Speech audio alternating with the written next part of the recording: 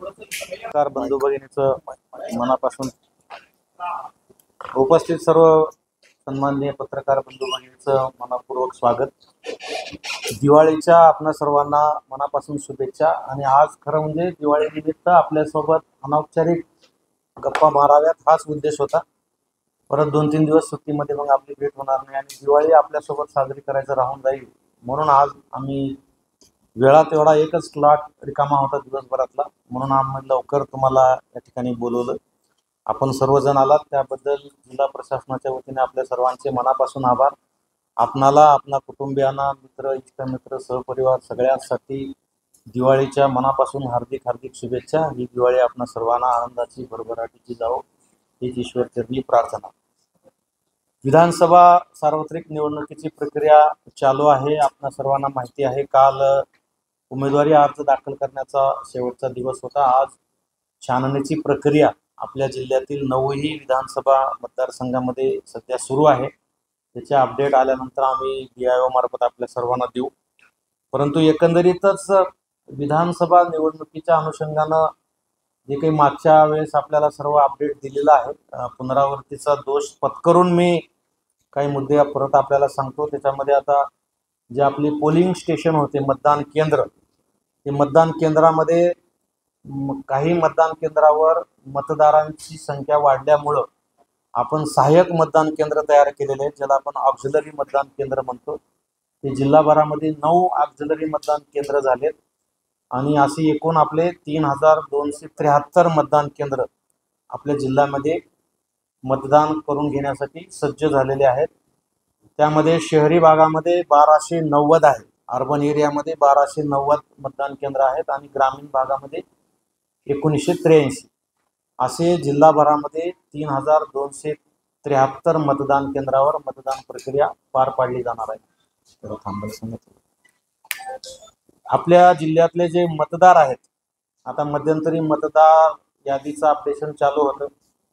नॉमिनेशनच्या आपल्या प्रक्रियेच्या अगोदरपर्यंत जी निर्धारित वेळ होती त्याच्यानंतर काही प्रक्रियामध्ये आणखी मतदारांचं जे अर्ज आहे त्याची प्रक्रिया सध्या सुरू आहे. आणि त्याच्यामध्ये काही मतदाराची संख्या कमी जास्त होण्याची शक्यता आहे. परंतु आज रोजी आपल्यामध्ये मतदार फायनल झाली. पूर्ण हे फायनलच आहे मतदार फायनल. बत्तीस लाख दोन हजार सातशे एक्कावन्न ही जी मागच्या वेळेस दिलेली आकडेवारी आणि ह्या आकडेवारीमध्ये कदाचित आपल्याला असं वाटेल की मागची कमी होती याच्यात वाढ झाली. किंवा काही कमी जास्त झाली मग काय चुकलं की काय? तरी मध्यंतरीच्या कालावधीमध्ये सुद्धा नाव समाविष्ट करण्याचे किंवा नाव वगळण्याचे अर्ज येत होते. आपण मागच्या आपल्या सर्वांच्या माध्यमातून आपण विनंती केली होती जर दुबार मतदार असतील तर नाव वगळून घ्या म्हणून त्याचे पण बरेच अर्ज आले होते. आणि सर्व प्रक्रिया झाल्यानंतर आज रोजी जिल्ह्यामध्ये बत्तीस लाख दोन हजार सातशे एक्कावन्न मतदार आहेत. त्यामध्ये पुरुष मतदार आहेत एक लाख सॉरी सोळा लाख त्रेसष्ट हजार एकशे शहाऐंशी. आणि स्त्री मतदार आहेत पंधरा लाख एकोणचाळीस हजार चारशे एकवीस. आणि थर्ड जेंडर जे तृतीयपंथी जे आहे त्याच्यामध्ये एकशे चौवेचाळीस मतदार त्याच्यामध्ये समाविष्ट आहेत. तर ही मतदान केंद्र आणि मतदार यादी हा महत्त्वाचा विषय असतो. बाकी ॲडमिनिस्ट्रेटिव्ह विषयापेक्षा ह्याच्यावर मी फोकस यासाठी केलं की सर्वांसाठी हा महत्त्वाचा मुद्दा असतो मतदान केंद्र आणि मतदार यादी. आता यानंतर आपल्याकडे होम वोटिंग होणार आहे. आणि होम वोटिंगसाठी जे पात्र मतदार होते हा एक फार म्हणजे आयोगाने नव्याने इंट्रोड्यूस केलेला विषय असल्यामुळं खूप जणांचं याच्याकडे लक्ष आहे आणि खूप पत्रकार बंधूंनी पण याची मागणी केली होती. त्यामध्ये जे दिव्यांग मतदार आहेत ज्यांना घरी मतदान करण्याची मुभा दिली होती त्याच्यात पी डब्ल्यू डी जे वोटर आहेत ते सत्तावीस हजार नऊशे चौसष्ट मतदार होते.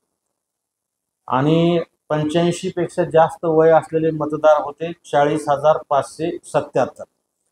आता ह्या सर्व मतदारांना म्हणजे पी डब्ल्यू डी सत्तावीस हजार नऊशे चौसष्ट आणि पंच्याऐंशी पेक्षा जास्त वय असलेले चाळीस हजार पाचशे सत्याहत्तर. ह्या सर्व मतदारांना आम्ही जो नमुना बारा ड आहे घरी मतदान करायचं का नाही आहे त्याचे अर्ज आम्ही सगळ्या मतदारापर्यंत पोहोचवलेले होतं. आणि नॉमिनेशनची प्रक्रिया सुरू झाल्यानंतर पाच दिवसामध्ये ही प्रक्रिया पूर्ण करायची होती. तर आमचे सगळ्या बीएलओच्या माध्यमातून आम्ही सर्व मतदारापर्यंत गेलो. त्यांना फॉर्म बारा डी दिले आणि बारा डी भरून घेतली. तर भरून दिलेले जे अर्ज आहेत पात्र बारा डी कारण ज्यांनी नमुना बारा डी भरून दिलाय त्यांनाच घरी वोटिंग करायची परमिशन आहे तर एवढ्या सगळ्या मतदाराला दिल्यानंतर मला समाधान याचं आहे की मॅक्झिमम मतदारांनी मतदान केंद्रावर येऊन मतदान करण्याला पसंती दिलेली आहे. आणि घरी मतदान करण्यासाठी जे बारा डी व्हॅलिड मत आपले अर्ज आलेले आहेत त्यामध्ये पंच्याऐंशी पेक्षा जास्त वय असलेले जे मतदार आहेत त्यातले तीन हजार पाचशे सदोतीस मतदारांनी आम्हाला घरी वोटिंग पाहिजे म्हणून नमुना बारा ड दिलेला आहे. आणि जे दिव्यांग मतदार आहेत ते सातशे पंधराने दिलेले म्हणजे बघा दिव्यांगाच्या बाबतीमध्ये सुद्धा फार सत्तावीस हजार नऊशे चौसष्ट दिव्यांग मतदार जिल्ह्यामध्ये असताना त्यातले फक्त सातशे पंधराने भरून दिलेलं आहे की आम्हाला घरी मतदान करायचं म्हणजे ते सुद्धा मतदार येऊन मतदान केंद्रावर मतदान करून हा लोकशाहीचा महोत्सव साजरा करण्याचा निश्चय त्यांनी केलेला आहे. आणि मग एकंदरीत हे पंच्याऐंशी प्लस वय असलेले तीन हजार पाचशे सदतीस आणि दिव्यांग दोन्ही टोटल केले तर चार हजार दोनशे बावन्न मतदार त्यांनी संमती दिली प्रत्यक्ष मतदानच्या दिवशी कोण किती हजर राहते काय नाही मतदान प्रक्रिया झाल्यानंतरच आपल्याला लक्षात येईल. जिल्ह्यामध्ये आपल्या जे सर्व्हिस वोटर्स आहेत दोन हजार पाचशे आठ हे सर्व्हिस वोटर आहेत जे आर्मीचे वोटर्स म्हणून आपण त्याच्यामध्ये त्यांची गणना करतो. तर यांचं हे कामकाज सुरू आहे आणि त्या नियमामध्ये कालावधीमध्ये ते पूर्ण होईल. जिल्ह्यामध्ये आपण तीनशे एकोणसाठ सेक्टर ऑफिसरची नियुक्ती केलेली आहे. त्याच्यामध्ये आपण आणखी अडतीस रिझर्व्ह ठेवलेले आहेत. असे जवळजवळ तीनशे सत्त्याण्णव म्हणजे जवळजवळ चारशे सेक्टर ऑफिस म्हणजे ज्याला झोनल ऑफिसर आपण म्हणतो ते तयार केलेले आहेत. त्यांचं ट्रेनिंग झालेलं आहे. आपल्याकडे जे मशीन लागणार आहेत electronic voting machine ballot unit control unit आणि व्ही व्ही पॅट हे आपल्या रिक्वायरमेंटपेक्षा जास्त आपल्याकडे तयार आहेत. त्यांचं फर्स्ट लेवल क्लिअरन्स ज्याला आपण म्हणतो एफ एल सी ते उमेदवार किंवा पक्षाच्या लोकांच्या उपस्थितीमध्ये झालेलं होईल प्रक्रिया. त्यानंतर जे मशीन आपल्याकडे होते त्याचं रँडमायझेशन झालेलं आहे. पहिलं रँडमायझेशन त्या मशीनचं होऊन आता ते असेंब्लीला पोचवून दिलेले आहेत. नऊच्या नऊ विधानसभा मतदारसंघाच्या स्ट्रॉंग रूममध्ये त्या मशीन्स पोचलेल्या आहेत. आता चार तारखेला जेव्हा उमेदवारी मागे घेण्याचा कालावधी संपेल त्यानंतर मतपत्रिका तयार होईल आणि मग त्या ठिकाणी मशीन लावण्याची प्रक्रिया दहा तारखेला त्या ठिकाणी सुरू होणार आहे. आता मध्यंतरी जे आपल्याकडे बावीस तारखेपासून कालपर्यंत जे उमेदवारी अर्ज दाखल करण्याची जी प्रक्रिया सुरू होती यामध्ये जिल्हाभरामध्ये एकूण चारशे सदुतीस उमेदवारांनी अर्ज भरलेले आहेत. नऊच्या नऊ विधानसभा मतदारसंघामध्ये चारशे सदुतीस उमेदवारांनी सहाशे तेरा अर्ज भरलेले आहेत. कुणी दोन भरलंय कुणी तीन भरलंय.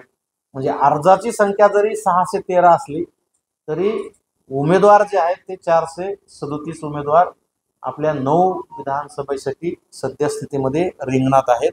आज छाननी प्रक्रिया झाल्यानंतर त्यातले किती रद्द होतील त्याच्यानंतर उमेदवारी विड्रॉल किती जणाची होईल त्यानंतर चार तारखेला पिक्चर स्पष्ट होईल.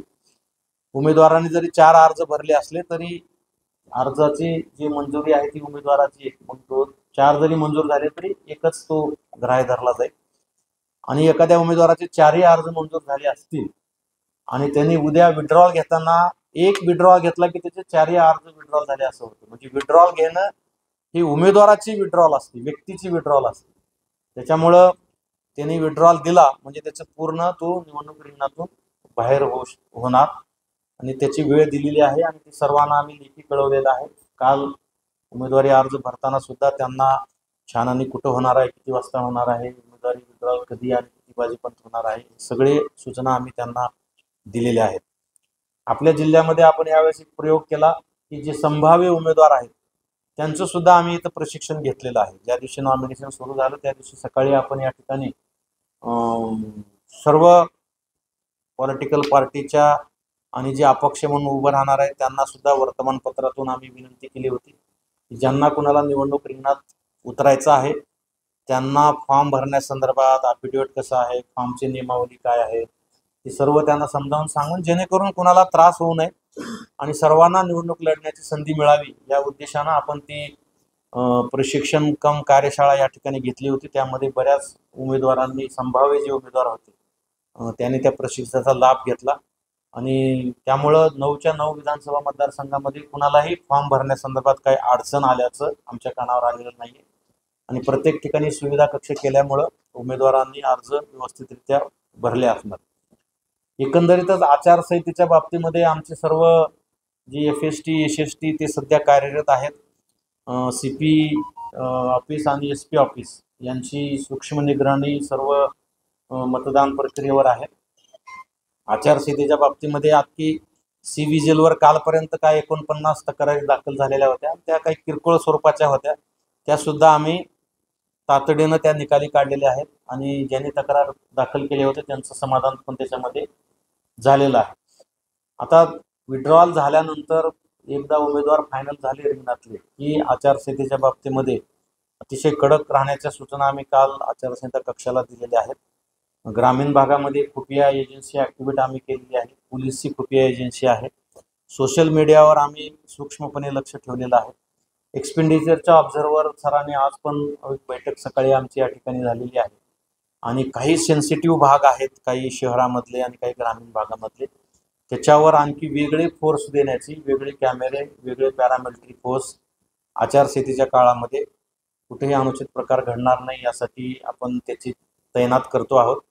आणि आम्ही सर्व राजकीय पक्ष उमेदवारांना पण आपल्या माध्यमातून विनंती करतोय की निवडणूक प्रक्रिया ही पारदर्शक आणि शांततामय वातावरणामध्ये पार पडण्यासाठी त्यांनी आम्हाला निवडणूक विभागाला सहकार्य करावं. सर्वसामान्य मतदार सर्वसामान्य नागरिक यांना कुठेही त्रास होणार नाही त्यांची गैरसोय होणार नाही त्यांची अडचण होणार नाही. या पद्धतीनं निवडणूक प्रक्रिया पार पाडली पाहिजे. तशा सूचना आम्ही आमच्या सर्व अधिकाऱ्यांना दिलेल्या आहेत. दिवाळीचा महोत्सव सध्या सुरू आहे आणि दिवाळीच्या महोत्सवासोबतच आपला हा लोकशाहीचा महोत्सव सुद्धा सध्या होतो आहे. त्यामुळे दिवाळी साजरी करत करत या लोकशाहीच्या महोत्सवामध्ये सुद्धा लोकांनी सक्रिय सहभाग घ्यावा. शांततेमध्ये ज्या काही प्रचार आहेत त्यामध्ये कुठल्याही कोणाच्याही जातीय किंवा धार्मिक भावना दुखावल्या जाणार नाहीत. कुणाचीही रस्त्यावर जाता येता कुठेही काही गैरसोय होणार नाही. या दृष्टिकोनातून सर्व पॉलिटिकल पार्टी आणि त्यांच्या उमेदवारांनी खबरदारी घ्यावी. आचारसंहितेचं बंधन आम्ही अधिकारी कर्मचाऱ्यावरही टाकलेलं आहे. तसंच राजकीय पक्ष आणि उमेदवारांच्या बाबतीमध्ये सुद्धा आयोगाने दिलेले निर्देश. हे पालन करणं कारण हे निवडणुका चांगल्या पद्धतीनं पार पाडण्याची जबाबदारी फक्त निवडणूक विभागावरच नाही तर राजकीय पक्ष उमेदवार आणि सर्वसामान्य नागरिक यांच्यावर सुद्धा तेवढीच आहे त्यामुळं आपल्या सर्वांच्या माध्यमातून सर्वांना दिवाळीच्या शुभेच्छा देताना माझी करा. त्याचबरोबर लोकशाहीचा महोत्सव साजरा करा. पण कुणाच्याही भावना दुखवणार नाहीत कुणालाही अडचण होणार नाही कुणालाही त्रास होणार नाही याची खबरदारी प्रत्येकाने घ्यावी. आणि ज्या ठिकाणी नियमाची पायमल्ली होईल किंवा नियम तोडवले जातील किंवा आयोगाचे निर्देश पालन केले जात नाहीत त्या व्यक्तीवर किंवा त्या संघटनावर किंवा त्या ह्याच्यावर आम्ही अतिशय कडक कारवाई करणार आहोत. आम्ही पोलीस प्रशासन आणि जिल्हा दंडाधिकारी म्हणून आम्ही तो निर्णय घेतलेला आहे आणि त्या पद्धतीनं आम्ही कामकाजाला सुरुवात केलेली आहे. कुणीही जर नियम तोडत असेल शांतता भंग करत असेल अफवा पसरत असेल आणि निवडणूक प्रक्रियेला बाधा येण्यासारखी कोणतीही घटना करत असेल तर तो कुठल्याही दर्जाचा कुणीही असला तर त्याची गय केली जाणार नाहीये. अतिशय सूक्ष्मपणे आमचं बारीक लक्ष म्हणजे लोकांच्या किंवा कुणाच्या लक्षात येणार नाही अशा पद्धतीनं आम्ही आमची वॉच त्यांच्यावर ठेवलेली आहेत. आणि आमचे जे काही सोळा कक्ष आम्ही तयार केलेले आहेत त्या कक्षांच्या माध्यमातून सुद्धा आम्ही बारीक लक्ष त्यांच्यावर ठेवलेलं आहे. परंतु माझे अशी धारणा आहे की कुठल्याही कायद्याचा अंमल करण्याची वेळ येऊ नये. सर्व जिल्ह्यातील नागरिक राजकीय पक्ष पदाधिकारी हे नागरिक आहेत. ते निश्चितपणे निवडणूक विभागाला सहकार्य करतील आणि आपल्या जिल्ह्यातील विधानसभा निवडणूक हे शांततेत पार पाडतील असा मला विश्वास आहे. परत एकदा आपणा सर्वांना आपणाला आणि आपल्या माध्यमातून सर्व जिल्हावासियांना दिवाळीच्या हार्दिक शुभेच्छा. त्याचबरोबर दिवाळीच्या महोत्सवासोबत मतदाना दिवशी आपल्याकडे वीस नोव्हेंबरला मतदान होणार आहे. त्यावेळेस आपल्या सर्व मतदार बंधू भगिनींना आमचं विनम्र आव्हान असणार आहे की आपण मतदानाच्या दिवशी या. संपूर्ण मतदान केंद्रावर आम्ही सर्व सुविधा उपलब्ध करून दिलेल्या आहेत. त्यामुळं आपण सर्वांनी यावं आणि जास्तीत जास्त प्रमाणामध्ये मतदान करून आपल्या जिल्ह्याची मतदानाची टक्केवारी भरघोस वाढवावी अशी पण विनंती मी आपल्या माध्यमातून सर्व मतदार बंधू भगिनींना करतो.